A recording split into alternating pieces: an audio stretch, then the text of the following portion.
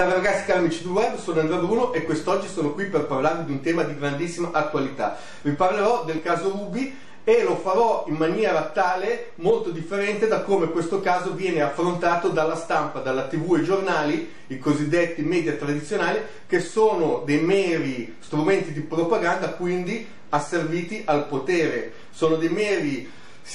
organi di propaganda atti a fare propaganda politica. Quindi non aspettatevi mai nulla di positivo da televisioni e giornali. Sono il regno della falsità. Questo mio video sarà una voce fuori dal coro, ma sarà molto veritiero e servirà a farvi capire cosa sia successo esattamente con Berlusconi, eh, la sentenza d'appello e il caso Rubi. Allora, Berlusconi è stato in secondo grado, è stato assolto perché? Perché vi è la cosiddetta manifestazione del nostro sistema dittatoriale. Anche in questo caso sono state cambiate le leggi in corso d'opera, si fanno come al solito per Berlusconi, per i potenti, le cosiddette leggi ad personam e nessuno vi dice questo circa il caso Rubi e quello che è successo. È successo che eh,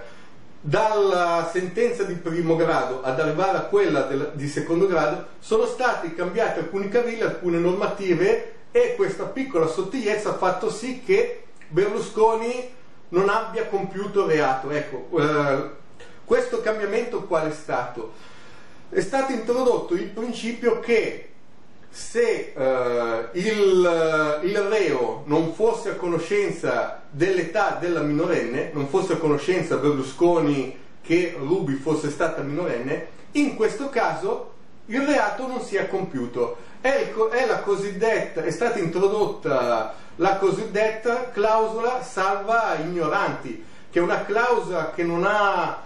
alcun riscontro nelle leggi, perché si sanno le leggi vanno rispettate anche se non si conoscono, non c'è la, a livello legislativo, non può esserci la scusante nel dire eh ma io non lo sapevo, perché se introduciamo questa scusante allora tutti i criminali possono essere assolti perché possono utilizzare questa scusante nel dire sì è vero io l'ho fatto, ho commesso, però io non lo sapevo per cui me ne lavo le mani. Ecco questo è un qualche cosa che viola estremamente quelli che sono i principi di giustizia e lealtà di una società civile e per quanto riguarda il voler salvare Berlusconi è stato proprio introdotto questo piccolo emendamento, ovvero un emendamento che va a salvare il pedofilo nel qual caso si trovi ad uh, armamentare con delle minorenni. Perché? Perché uh, vi la scusante nel dire ma io non conoscevo l'età. Introducendo questa scusante qui si sta creando un problema molto grave perché da domani tutti i pedofili quando avranno a che fare con le loro vittime la prima cosa gli diranno guarda facciamo quello che dobbiamo fare, però tu non mi dire la tua età, io non la voglio neanche sapere, proprio a me non me ne anzi se tu mi dici la tua età non se ne fa niente, e quindi tutta questa gente qua sarà eh, in qualche senso protetta dalla legge nel compiere i loro reati, che, i loro reati, i loro non più reati perché non saranno più nemmeno processabili, perché si è andata a cambiare una legge in questo senso. I media stanno compiendo una grandissima truffa mediatica anche nei titoli di giornale. Prima di tutto chiarire alcune sottigliezze. La differenza che c'è tra il eh, non aver commesso il fatto o essere imputati per un qualche cosa che non è un reato. I titoli di giornale intitolano tutti eh, assolto per non aver commesso il fatto. In realtà è una menzogna perché si va a vedere, a scartabellare bene le carte o anche certi articoli mettono il titolo falso, poi dopo leggendo si riesce a intravedere qualche cosa, non è questo che è successo. Berlusconi è stato assolto per non aver commesso reato, perché re, quello che prima era reato, cambiando un piccolo cavillo, e non lo è più, non per non aver commesso il fatto, lui l'ha commesso, i giornali intitolano Berlusconi assolto per non aver commesso il fatto, eh, perché vogliono, non vogliono portare la gente sul binario giusto, a riuscire a capire quello che è successo perché se ti danno gli, gli, indizi giusti, molti potrebbero riuscire a intuire quello che è successo, andarsi a documentare e capire che in realtà viviamo in una dittatura dove la legge è uguale per tutti, però abbiamo, nella dittatura abbiamo persone che sono in grado di cambiare la legge affinché essa sia asservita ai potenti, i quali possono fare i propri comodi, possono fare quello che vogliono, come non hanno scrupoli a intrallazzare con delle minorenni, non hanno anche scrupoli a fregare il prossimo, ad ingrassarsi a scapito della collettività. Questo chi non ha scrupoli in, un, in, una direzione, in un certo tipo di orientamento, in tutta la sfera delle cose che lo circondano non avrà mai alcuno scrupolo. E noi viviamo in un paese dove c'è gente che essenzialmente non ha, non ha, scrupoli, ci governa gente con tanto così di pelo sullo stomaco e non gliene frega niente di quelli che si suicidano, della gente che si ammazza, la gente che soffre quello che un mazzo per andare a lavorare e non ce la fa arrivare alla fine del mese, quelli non gliene frega proprio niente, quelli lì pensano a mangiare e gente che pensa di ingrassare solo se stesse. Per quanto riguarda il caso Rubi io vi pongo una domanda. Se Berlusconi non era a conoscenza che Rubi fosse stata minorenne, eh, eh, per, perché mai quando era in caserma l'ha mandata a prendere in affidamento? Cioè,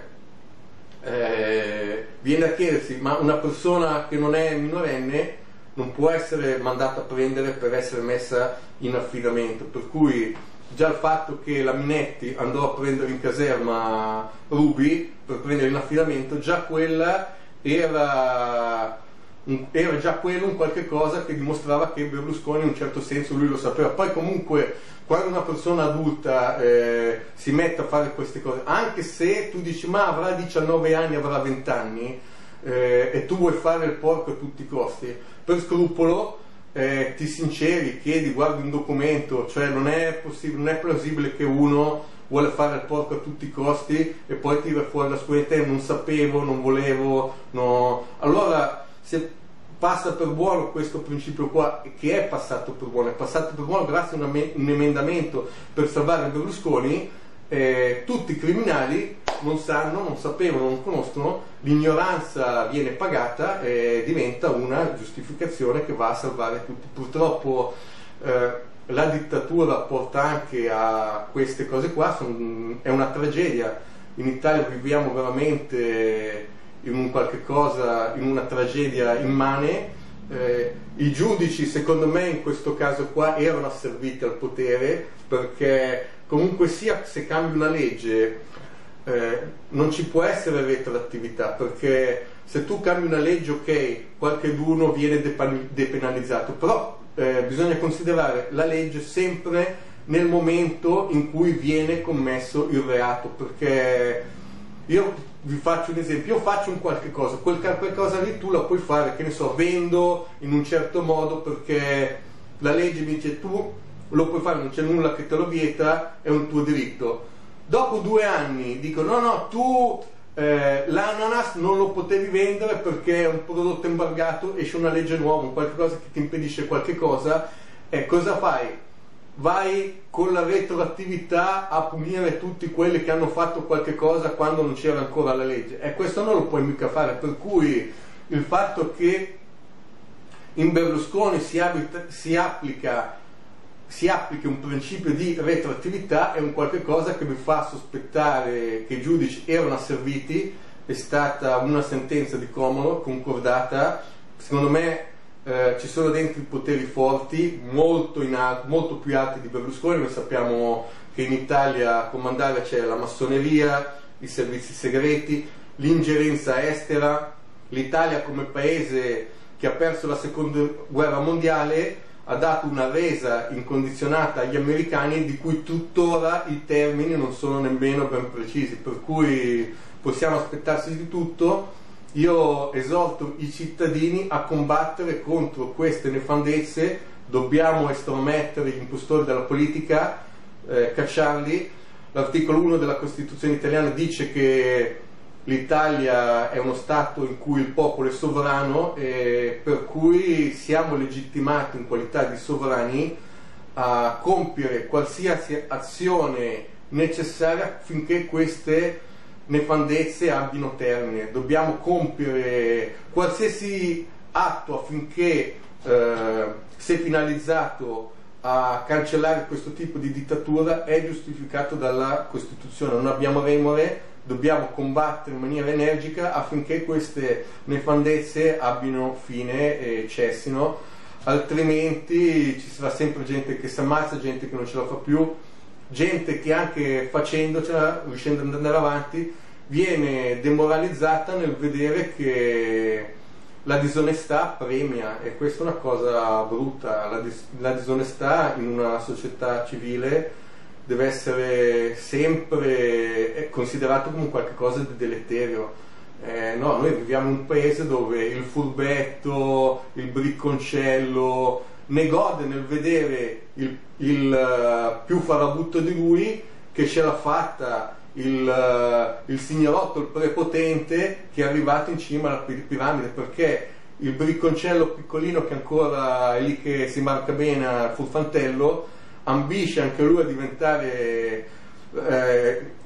ad andare sui vertici della piramide e riconosce nel furfante di professione nel re dei bricconcelli eh, si riconosce come il papà, dice tu sei il mio papà, io a te ti do sempre sostegno, ti do sempre il mio voto. Ecco, questo è un po' quello che vi volevo dire, eh, scusatemi se ci ho girato un po' attorno, eh, ok, vi saluto e ci sentiamo alla prossima. Combattete sempre per quello in cui credete, ricordate il popolo è sovrano. Ciao a tutti.